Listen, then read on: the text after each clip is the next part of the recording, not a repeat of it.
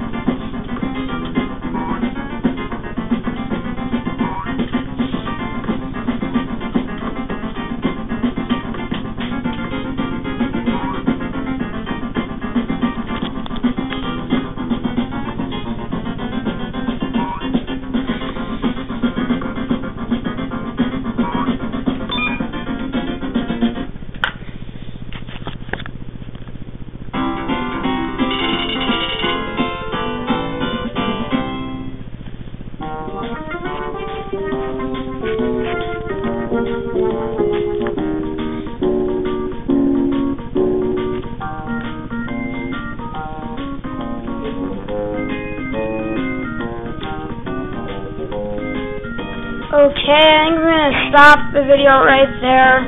Um, so look out for part two.